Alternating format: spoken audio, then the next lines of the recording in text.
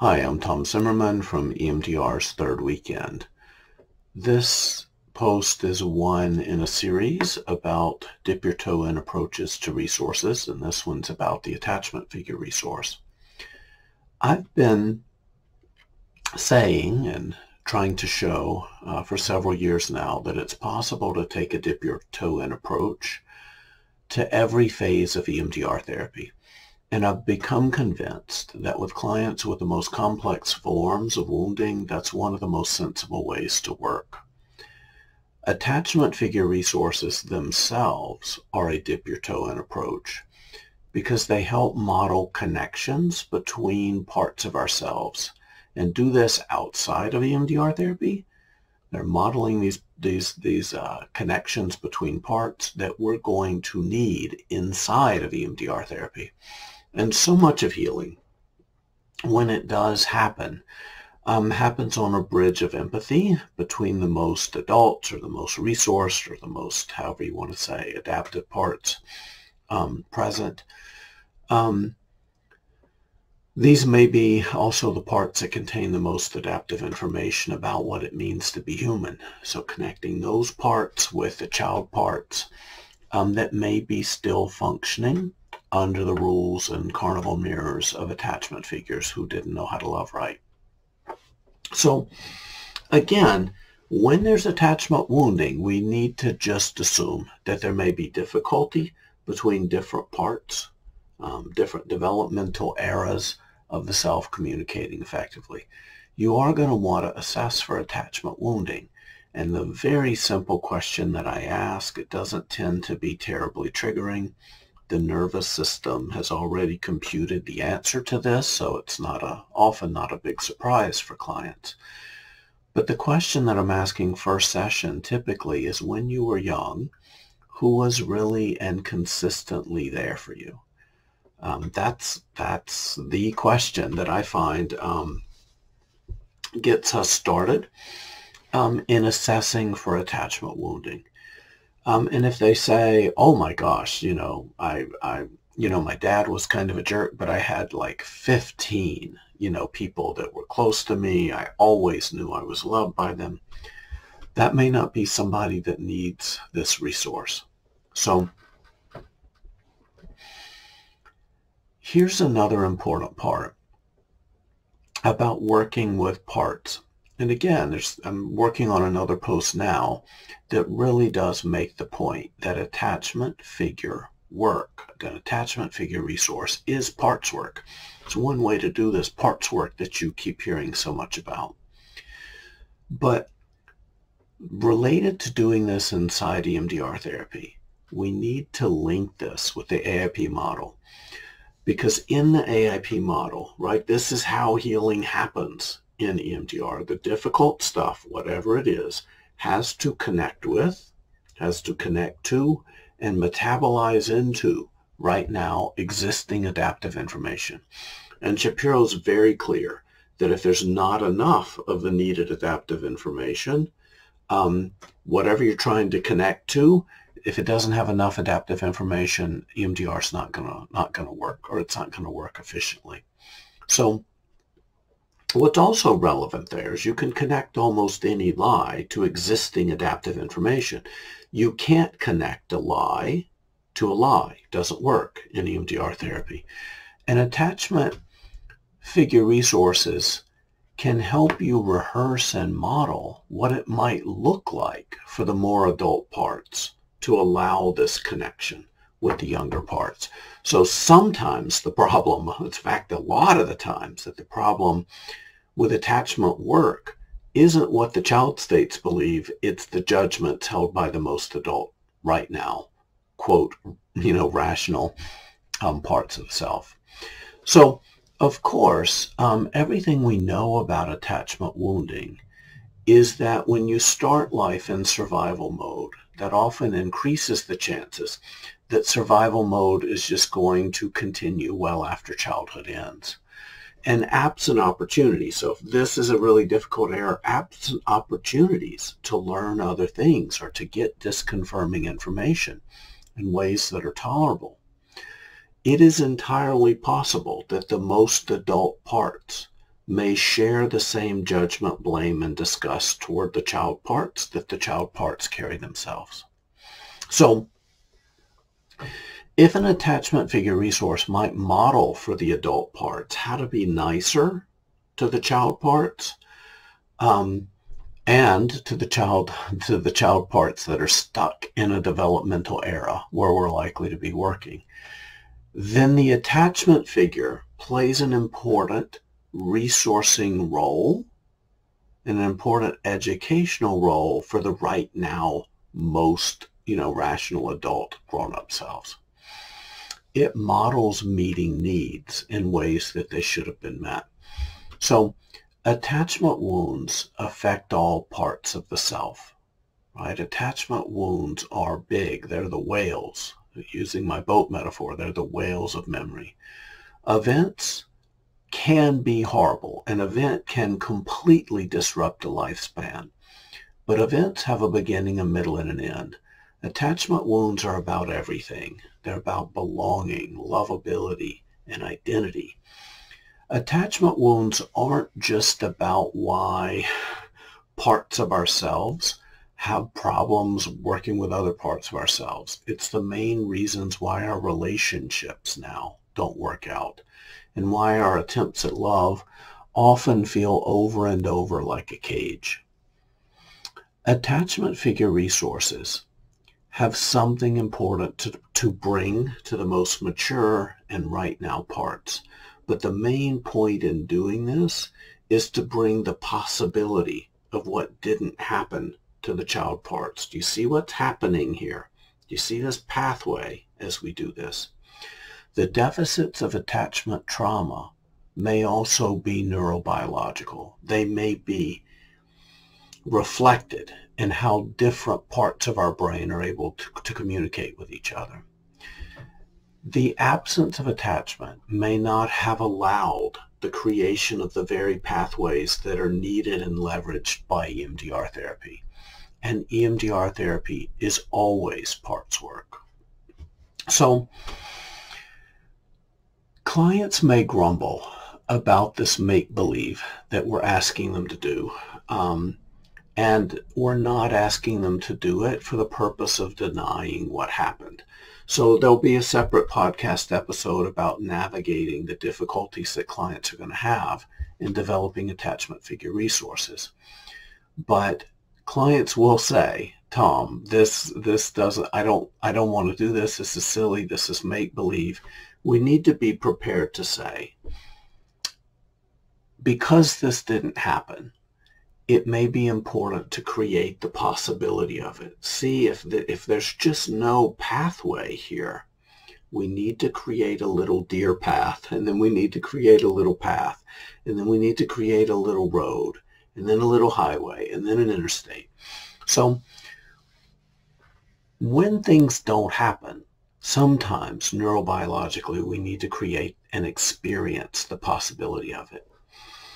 And we're doing this at the end of the day, we're doing this so that we can put out the fire of that big radioactive and existential loneliness that defines so much of childhood. That's the difficulty in EMDR therapy. Clients will hit that quicksand where they feel the way they felt when they were, you know, seven years old or six years old or five years old. And they can get stuck there. EMDR therapy can also spread embers throughout the developmental eras where we work. So a difficult session where the client's spending a whole hour kind of stuck in a developmental era, this can start fires in the days after the session ends.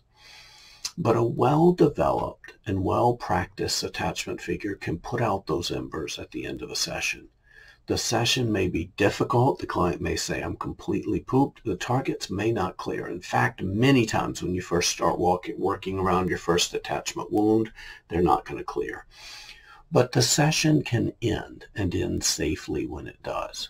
So back to my whale metaphor, where the adaptive information is the boat, the fish you're catching is the memory. You have to have a big enough boat to land the fish. You have to have enough adaptive information to support what you're trying to land.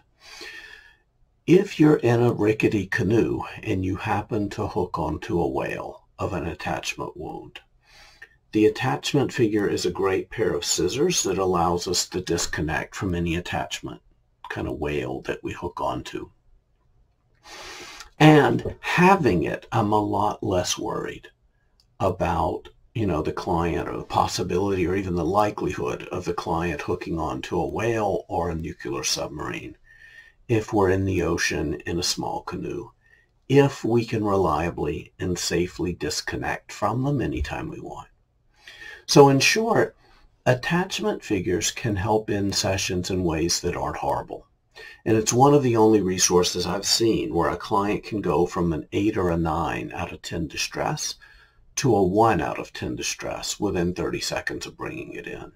It is a very powerful fire extinguisher for the very types of fires that may be very difficult to extinguish at the end of an EMDR session. While this can be a powerful resource, it's difficult to develop, and there are a wide range of protective responses against its introduction and its absorption as a resource. Uh, my attachment script, which I'm referencing in the section below, um, anticipates and tries to get ahead of many of these difficulties, but there's some categories of blocking belief that'll make it almost impossible to develop attachment figure resources without additional work. Um, these are also the same types of blocking beliefs that'll make EMDR really difficult without additional work. So you could do, obviously we're doing them both together. These may be, among others, I am dispositionally bad, right? I don't deserve love, kindness to get my needs met. And I don't want to be loved, receive kindness, or get my needs met. With these clients, we may need to try exercises from the perspective of meeting the needs of someone else other than the client. So if you can't extend these things to yourself, we may need to first try them on using the proxy of someone else. So this is a dip your toe in modification. And I may ask the client if they have a nephew or niece or knows of a child or even a can imagine a child, maybe a child they saw at a park a few weeks or months ago, that might, at least in theory, be able to use a little bit of additional support. I do try to avoid the client's own children since this can bring up a lot of parenting guilt and reinforce themes of defectiveness and unworthiness. Um, clients may want to use their own kids as a proxy for themselves. I don't re necessarily recommend it because it, it may simply be too complicated when when a parent who's in survival mode herself may struggle to be meeting actively all of the attachment needs of her kid. And even if she is, she may be very, very doubtful that she is. Um, so when we develop the attachment figure script using a proxy of this other child, right, in, in place of the client's younger parts, we are trying on these qualities using a less triggering persona than the client himself a little bit like the way a client in sand tray therapy, a little child in sand, sand you know, sand, playing in the sand tray, may perform um, his or her emotional experiences through the persona of a dinosaur figure, right? So that may be safer, right? That may be um, more developmentally tolerable to, to have a proxy between um, uh, between you and you. so clients that really, really struggle with developing an attachment figure resource can use a proxy as a substitute for the client. And this gives the client an opportunity to try on nurture for something that isn't himself. And remember, we're developing the attachment figure resource as a substitute, right? Because the client isn't healthy enough to bring compassion and nurture to his wounded child parts. This dress rehearsal lets him practice by bringing compassion and nurture to something. So when you've developed this resource, the client isn't necessarily prepared to work on attachment wounds in EMDR therapy. But when you send this client home to practice this resource and bring compassion, nurture, and adaptive information to someone, right? The client in the process of doing that may have created a little pathway and may be more receptive to trying this resource in more personal ways in a few weeks or a few months. And during that time, you can continue providing psychoeducation about what it means to be born human, about what it means to be born with needs, clarifying whose job um, it was to meet those needs and normalizing that kids all over the world blamed themselves when they weren't able to get their needs met consistently and safely. So during this time, I'm also reminding my clients, and carefully, sometimes we have to just kind of put things on a table and kind of walk away, um, that they weren't born this way, right? Um, you weren't born believing that you're unlovable. You weren't born believing that your needs don't matter. As a matter of fact, I'm guessing that when you were born, you were born with the ability to announce with your whole body and your whole voice um, what your needs were and that you needed somebody to meet them. But it also makes sense that after that, difficult things happen and we had to learn other things, right? So just realizing that you weren't born this way can help crack away at the edifice that this is how I am. This is my lot in the universe. So, and once we kind of do that a little bit, it may introduce the possibility that even now we can learn new things that better suit our needs in the present. So in review, attachment figure resources just as starting out is a dip your toe in resource that can help facilitate healing in EMDR therapy and in other approaches. If the client can't resource themselves, find someone that it can resource as a substitute for themselves. This can be helpful while we continue helping the client develop the needed assets for the EMDR journey. Again, we want to be kind to therapists and we want to be kind to our clients because no part of this is easy. So when protections against self-care, self-nurture, and self-directed compassion show up, I promise you these are survival strategies. They exist for reasons. And we can't go at them too directly. We sometimes need to introduce disconfirming experiences carefully we need to dip our toe in, get information from that. Sometimes we may need to dip our toe into something even smaller first and leverage that. So attachment figure resources can be difficult to develop for many clients. And in other episodes, I'm going to talk about those um, difficulties. But one of the one of the really, really, really kind of uh, end of the road difficulties that I hear when people try to develop a, an attachment figure resource is when you try to develop one with a client who seems to have very, very strong defenses about bringing any, even the slightest possibility of compassion or, um, or love or anything toward the self, right? Or even acknowledging that the self is, you know, that that that the self or parts of the self um, had needs and that those needs were legitimate. So um, give this give this a try with your clients that really really struggle with attachment wounding. Leverage it. Keep checking back in. See if it can if this doesn't create the possibility of for you to kind of put your toe somewhere.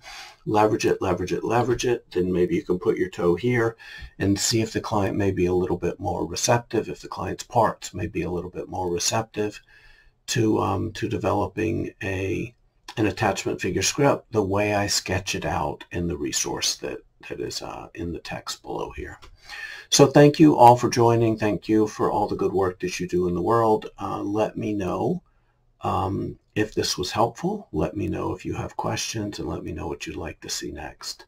Um, I really am committed as much as somebody can be committed in their in their in the time that they can find, the time that they can squeeze, and helping translate how we teach EMDR, right? How we're almost required to teach EMDR, and how you actually use it effectively with people who are in really deep forms of survival, um, which ironically may have been the clients that most motivated you to get your EMDR training in the first place. So again, my, my goal is to help you use EMDR therapy with the clients that, um, that kind of most need it but um, but are going to struggle with many, many aspects of preparation. So thank you. Take care. Be in touch.